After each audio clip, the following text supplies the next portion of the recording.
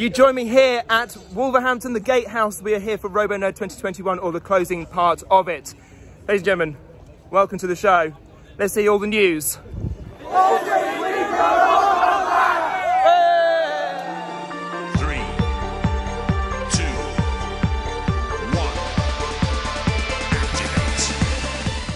RoboNerd 2021 took place at the Gatehouse in Wolverhampton on Saturday, the 4th of September.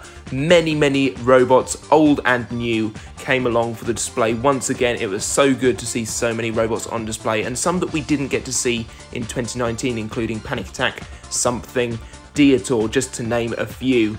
The Big Cheese was also there, brought by Team Thunderchild alongside many other fan favourites. Nelly the Alliobot, Apollo was there, we had Abrasion, we had Turbulence, plenty of heavyweights on display. It was great to see them all, and great to talk to some of the builders that brought them, who were all too happy to converse and answer any questions that the fans and other builders had about the machines. For the first time in a long time, we also had the Roger Plant collection there in full the Big Cheese, Wheely Big Cheese, and the Mule. And we also got to see the challenge belt brought by Team Tornado. Once again, the house robots were on display and put on a couple of display shows as well. Dead Metal cutting up a wheel hub and Shunt destroying a microwave were two of the highlights of the day. There were also displays of two heavyweight robots from back in the day. Onslaught had a bit of a drive around in the test area, as did Panic Attack, who put on a couple of shows over the course of the day. Panic Attack really did impress the whole audience. It was really good to see it in full working order.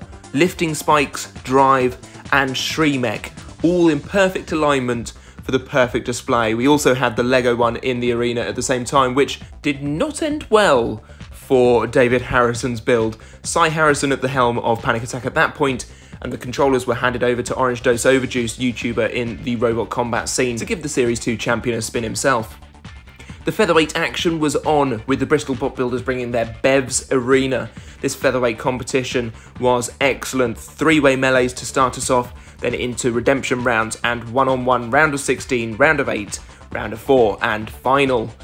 Lots of robots competed and lots of very fun ones at that. The whole spirit of Bevs is for a lot of fun to be had by everyone. We had a BB 8 that lost its head.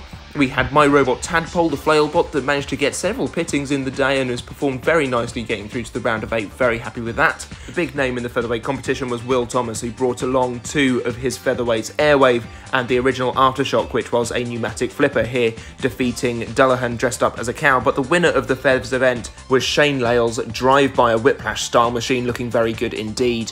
In the Beetle weights, we had an open arena but the main event was the Content Creator Rumble, which this year was won by none other than my robot Douya, and I'm so happy with the performance of this machine. It was an excellent fight that goes on for 7 minutes, and there is a full video on the channel if you want to go and see the full action.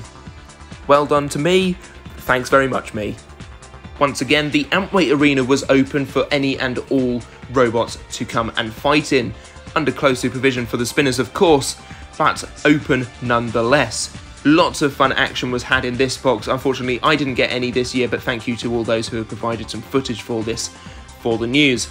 You are stars. And finally, LEGO Wars went live this year with lots of the LEGO Wars machines taking part, as well as some outsiders coming in to take on the machines. It was great to see so many fun and interesting builds taking part throughout the day. Thank you all for coming. I want to say a massive thank you to the RoboNerd team for putting on yet again another amazing show. It's always one of my favourites to go to. And that is just about it for the news this week. I hope you've enjoyed this video. If you did, give it a like, do subscribe to the channel if you are new. Be sure to check out World of Woodrow over on Facebook to keep up to date with all the latest news, and we shall see you again next time. Bye bye.